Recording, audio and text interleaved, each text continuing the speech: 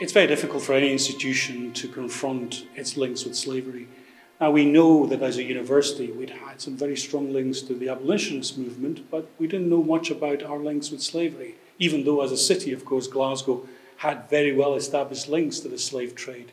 So we decided that we wanted to find out more because it's the right thing to do. We wanted to find out more and make sure we understood our history and made it public.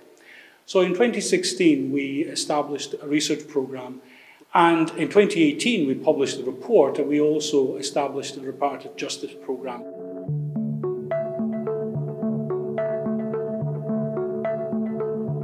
to me, what the research has done is to collect information and truthfully and honestly actually said we benefited without any sort of excuses.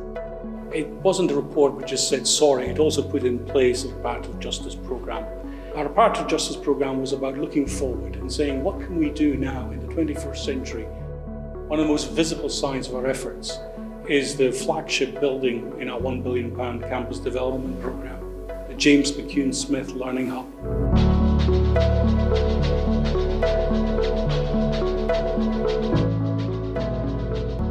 James McCune Smith was born a slave in America in the early 1800s. He then made his way to freedom and wanted to study to become a doctor, but he wasn't he wasn't accepted into any universities in America, but he was accepted into the University of Glasgow. He was the first African American to receive a medical degree anywhere in the world. I came to University of Glasgow um, inspired by Dr. McCune Smith's story, being born into slavery, defeating that in a way, and then traveling here to pursue education. I thought there was, if he can do that, I can do anything. It was beyond inspiring.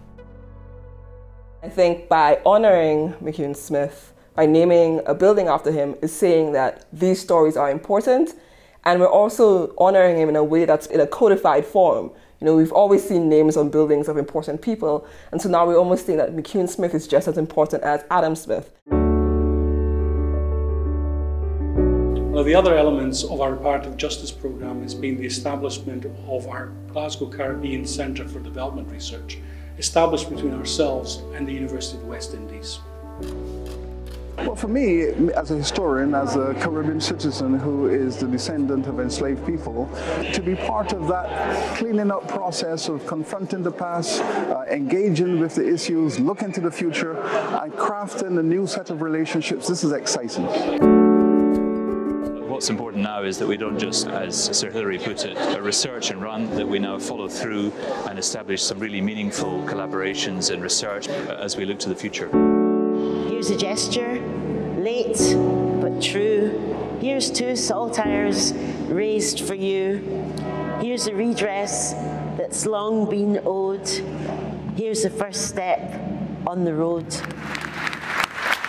We can't change our past, but we can acknowledge it and we can change our future, and that's really what we're attempting to do at the University of Glasgow Our James McCune Smith scholarships, along with a comprehensive programme that will help to raise aspiration and attainment, is absolutely mission critical for the university. Our raison d'etre is around empowering and enabling our future world changers to go out and change the world. Over the last year, of course, we've had the Black Lives Matter movement, which has been about amplifying black voices. But of course, our journey started many years ago. I see this work as a first light, meaning that other people will see it and follow. It's one of the things I'm immensely proud of that at the University of Glasgow, we haven't just acknowledged that and made reparation, but we have galvanised the higher education sector as a whole. Now, many of our peer institutions are looking at their past and creating their reports. What Glasgow has done is to confront its history of benefiting from slavery and it has said, we're not going to research it and run away from it. We're going to stand up to it. This makes us an ethical university. And now Glasgow, I think, can put up its hand and say, we're not only excellent, but we're also ethical.